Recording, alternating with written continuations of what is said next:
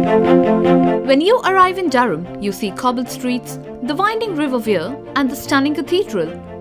You might think it looks like just a typical, traditional British city.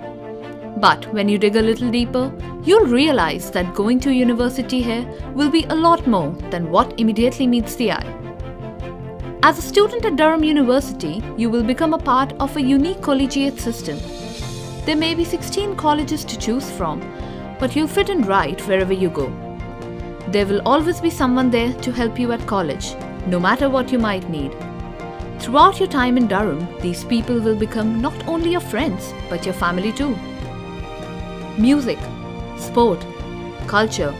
No matter what you like, there's always somewhere to do it and someone to share it with. Studying at a World Top 100 university has its perks. From world leading research facilities to state of the art lecture theatres and innovative learning spaces, you will have everything you need on your doorstep. Being the number one for team sports in the UK is pretty cool too. You will be taught by lecturers who are experts in their field. They're knowledgeable, passionate, driven, and will always do everything they can to provide you with the support you need to get through your degree.